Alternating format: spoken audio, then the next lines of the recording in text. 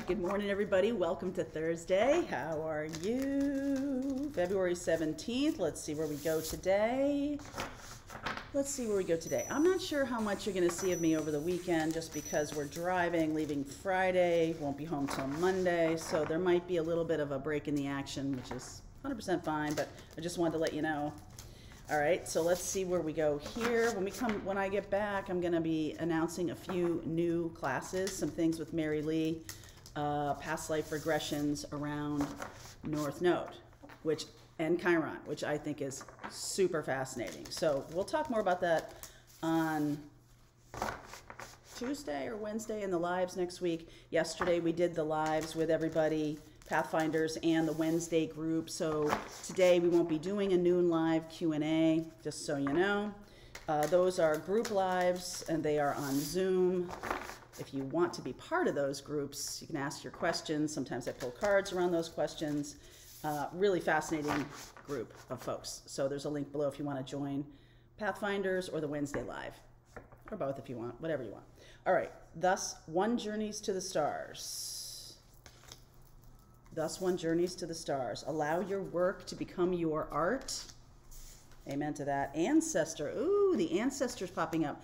That reminds me, I think um, you will see an ancestor reading. So let's let's explore that a little bit more while we're while we're at it. Okay. So um, some of you have been asking me about your work for a long time because we talk about North Node quite a bit on this on this channel and it doesn't always mean i'm talking about a, a, job title or anything like that but it's like what is your work on this planet and i feel like the ancestors are trying to answer that question for you right now so let's see what we get for the reading if you're somebody who is wondering about that i also thought i might do a series of north node readings um, north node examples. Somebody asked me a really great question in my last North Node class about like, well, can you show me, give me some examples of other people with North Nodes in my placement? So I think I'm going to do that. I think that's, I mean, it might take me a while, but uh, to get all of them done, but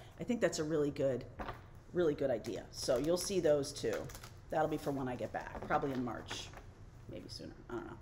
All right, let's see where we go. Let's see where we go. No, keep shuffling. Okay. I do what I'm told here. Do what I'm told. Okay, all right. Here we go. Oopsie.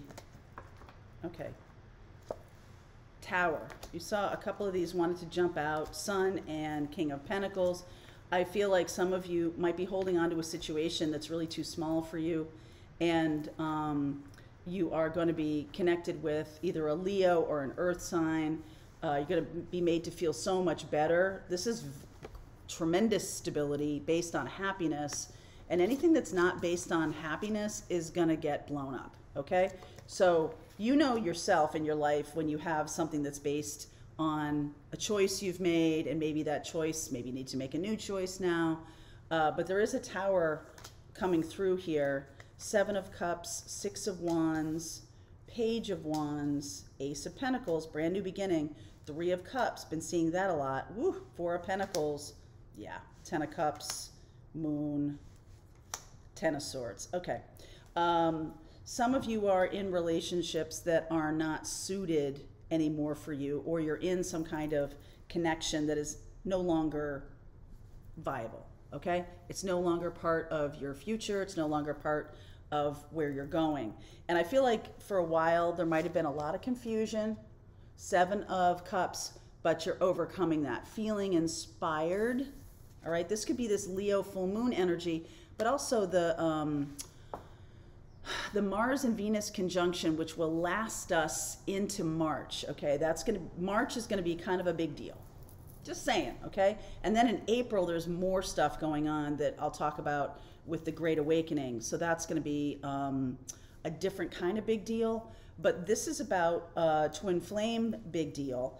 And it does feel to me like somebody who's a friend becomes more, okay? Somebody who you think of as a friend or you have met through friends or something like that becomes more. Some of you are holding back, all right? You know this is true. When I say this is when I say this, you go like, uh, because you don't want it to be true or you don't want to hurt somebody or something like that. And so there's a lot of holding back. Four of Pentacles.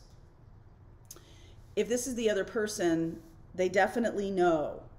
Um, but, but, there's a lot of confusion and a lot of fear around this connection. And for some reason, you know, like it's inappropriate in terms of this is a friend of a, the family or it's not in terms of age, okay? Um, you may think it's inappropriate, like this person's 10 years older or 10 years younger, but they are of age, okay? This is not about, this is not about that. Um, this has to do with someone kind of feeling like it would be a betrayal of some sense to go toward this person. There's the Ten of Swords.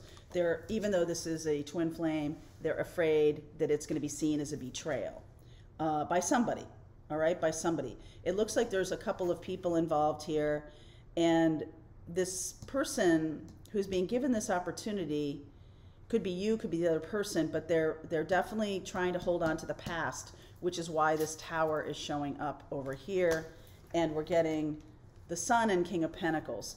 The the holding on is simply because they're afraid of hurting someone else or they're afraid what they're going to do is going to be looked at as a betrayal.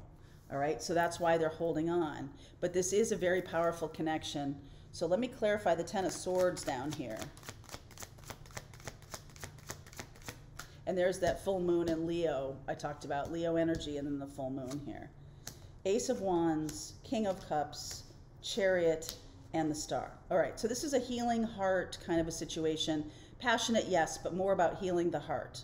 Um, this is interesting because we have the sun and the moon here. When we have a full moon, what a full moon means is just in very basic astronomical terms is that the moon and the sun are in opposition. That's why they're in the opposite sign. So when you had the new moon, we had the new moon in what? In Aquarius, right? And now we have the full moon in Leo. It's the opposite sign and it's in direct opposition. And so I feel like that's kind of the energy of this. The full moon is the full moon is also about release. Like we finally come to some kind of um, place where we're going to release something and then that makes space for something new to come in. So something is being released. What's being released here?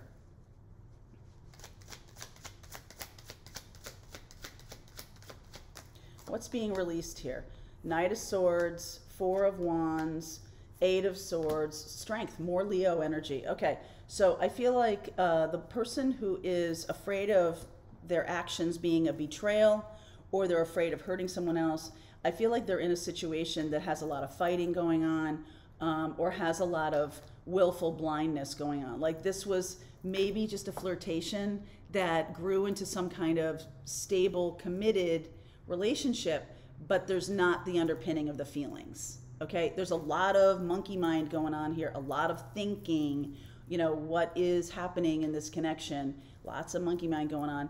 And it does feel a little bit to me like this person is moving on um, from another uh, relationship.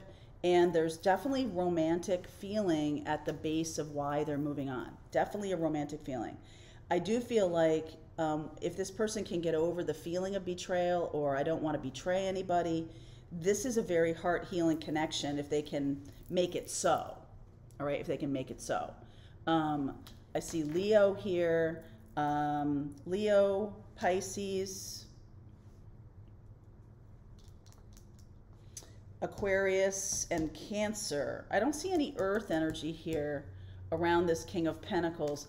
I, I feel like that makes me that makes me feel like it's about stability because we have the ace of pentacles here and the four of pentacles is like okay a little stable not a lot stable and and not a lot happy just okay happy like it's fun and like this old relationship that they're leaving is fine and if there was any logic to the english language that fine would be a four letter word um, so I, I think that that's like, it's not that that person's settled, but I do feel like you have an opportunity here. This person's going to have to work this out for themselves. And I don't really feel like there's anything for you to do. I feel like your job is to shine your light let me ask about the message from the ancestor here. Allow your work to become your art. Pay attention to your work. Pay attention to what you're doing. Message from the ancestor here. Ace of Wands. I got that down here too. Two of Wands. Knight of Swords. Wow. King of Cups. Um, I feel like the answer is the uh, ancestor is saying to you that this person has a choice. And because I get Knight of Swords over here, and I feel like this is tight and shut down, this feels open. The King of Cups here feels open to me. That, you know, once this decision is made, whoosh, like it's almost like things happen fast. This person, I feel like, is going to choose you. It's a very healing connection.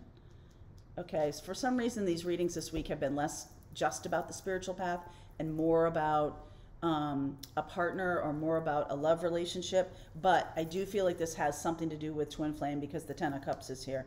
Twin Flame and the Empress are my two Twin Flame cards. So we'll see about that in the extended, whether the Empress comes up. Um, Aquarius, Cancer, Aquarius, Cancer, Pisces, Leo. Lots of Leo. Okay? All right, I'm going to continue on with this reading. Link is below. I will um, I'll see you over there if you're part of Pathfinders. Rest of the reading starts right now.